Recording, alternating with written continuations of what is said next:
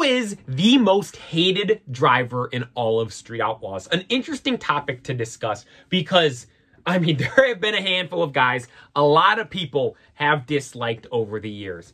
I I already know who you guys are going to be spamming in the comments down below. This is the number one guy, Reaper. I mean, like, Reaper's fine, man. Like, how he is on the show, like, to be fair, like I, I do feel like he brings a lot of the negativity around him upon himself. Like with the instance on the list, you guys remember when he like had the carbon fiber skins in, or he had the carbon fiber shell the car and just steel skins outside, but the carbon fiber was still there inside. It was like, and he was like, oh no, it's real and legit and all that stuff. Like because of that, like he shoots himself in his own foot a lot of times with that kind of stuff. And his attitude, how he talks about everyone, like people people really don't like Reaper. I've always said, like, I got no issues with Reaper. He just looks always kind of mad and scary in all the thumbnails of his videos he makes. But right now, like, someone might be rivaling Reaper. And it, the way in which I say this is the most hated driver isn't the way in which people hated Reaper. Like, people actually genuinely didn't like Reaper.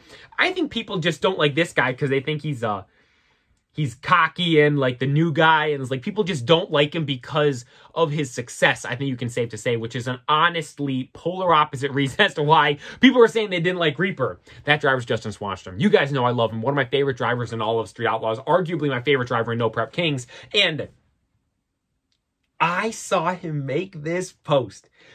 He posted a picture of the no prep kings trophy sitting on the corner of the floor of his shop.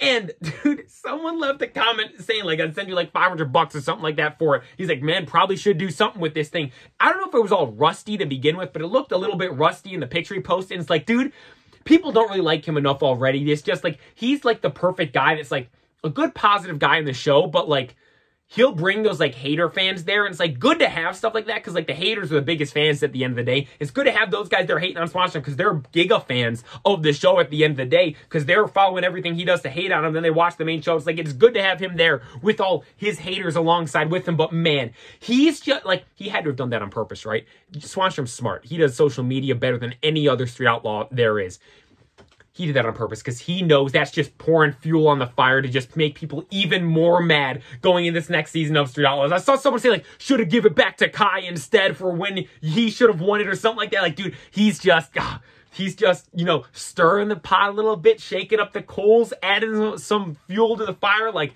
I love Swanstrom, man. Even though he might be the most disliked slash hated driver in all of No Prep Kings and Street Outlaws in general.